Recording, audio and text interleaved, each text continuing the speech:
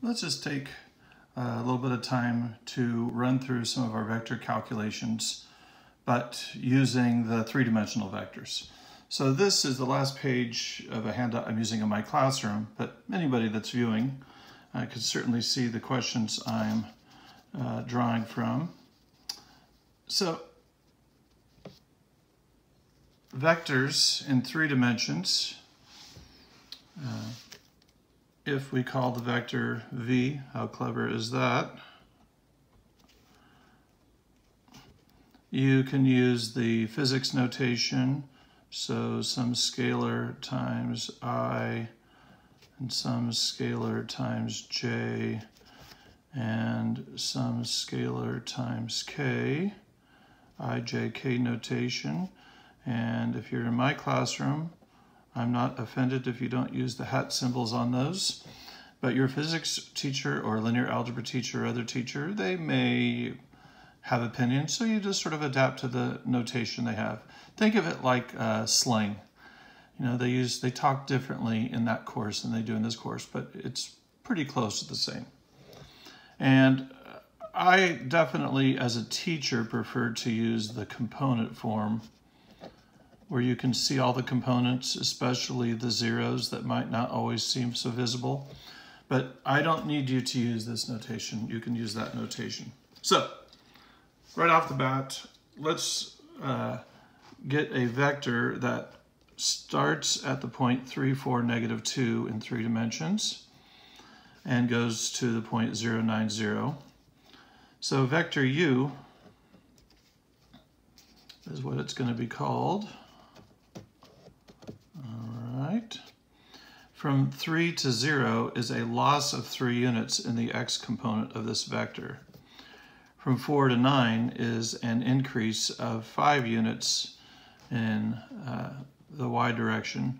And from negative 2 to 0 is an increase of 2 units in the z direction. So this vector has components negative 3, comma 5, comma 2, or negative 3i plus 5j plus 2k. So pretty straightforward setup there. So what was this notation again? Oh yeah, this is a notation for magnitude.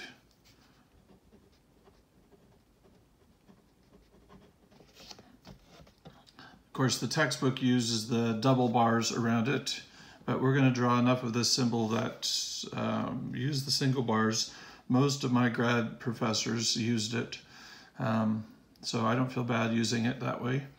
And as we've seen, that magnitude is, uh, so be negative 3 squared is 9, and 5 squared is 25, 2 squared is 4, um, so 29 square root of 38, or slightly more than 6 units if we were measuring it as a decimal value.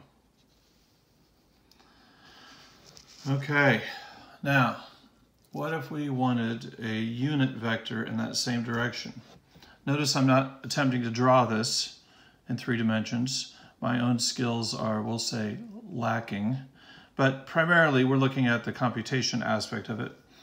And if we want to change the length from a little bit more than 6, then we need to divide the components by a little bit more than 6. That was called a scalar multiplication.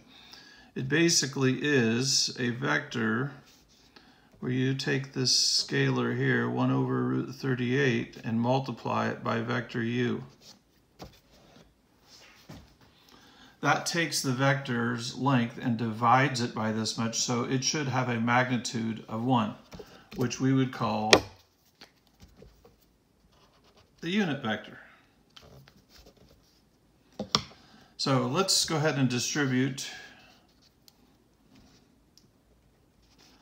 That would be negative 3 over root 38, 5 over root 38, and 2 over root 38.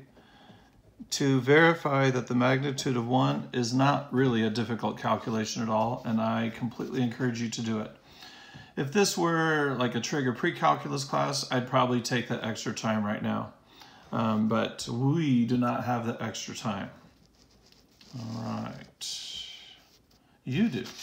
Just in here I don't. So, an adjustment. How do we write a vector that's in that same direction of negative 3, 5, and 2, but have it with a magnitude of exactly 15 units? And again, I, I liken this to if you were programming a racing video game and you wanted the vehicle to have a specific speed or magnitude, um, you would start with a unit vector and then you'd multiply by whatever the number is. And so it basically is 15 times 1 over root 38 multiplied by the vector u. So what's 15 times negative 3 is negative 45. And 15 times 5 is 75 over root 38. 2 times 15 is 30 over root 38. It's a little bit uh, messy to at first glance, but um, it's not too difficult to verify that its magnitude is 15 exactly. Okay, what's next on the playlist here? Oh, another vocabulary term I have to go back and remember. Resultant. Uh, that was what we got when we added the two vectors. That's not an and symbol, that is a legitimate plus sign. So u plus v equals 7 plus 2 is 9, i negative 5 and 5 is 0j. Now you have to choose, are you going to write 0j or are you going to leave it blank because your pre-algebra teacher says it was okay? I'm going to start with the pre-algebra teacher here.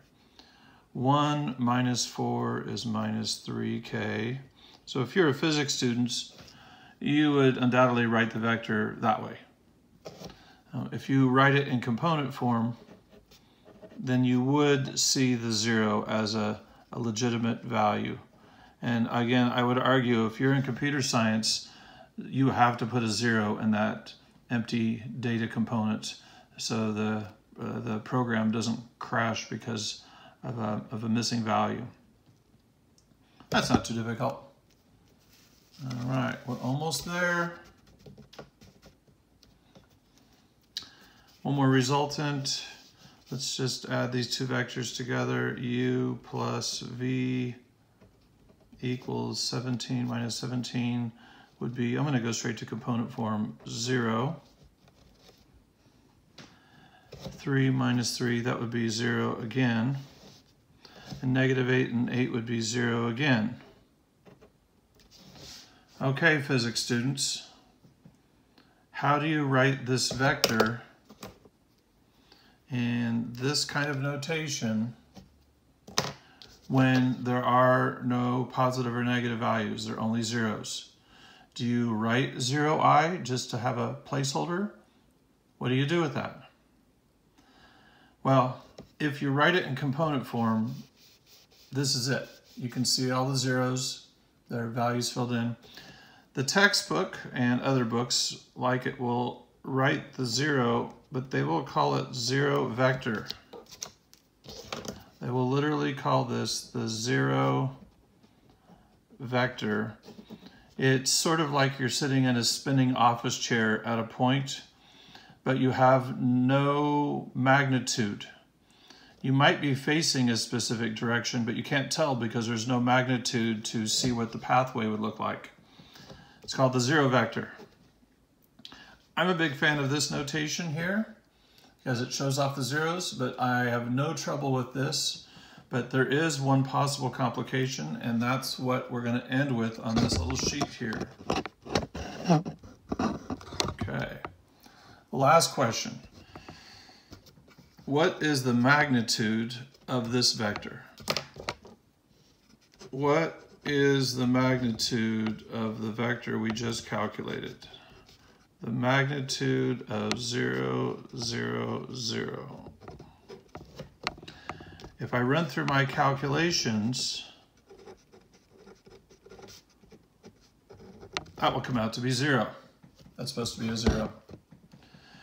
This 0 is a number, though. It's the length of that little dot on the paper. It's just one dimension. It has no length. This is 0, the scalar or number. That's not the same as 0, the vector. So if you want me to believe that you're giving me the zero vector, you have to put the vector symbol on it, or you can write it that way. This is zero the number, it's always going to be zero the number.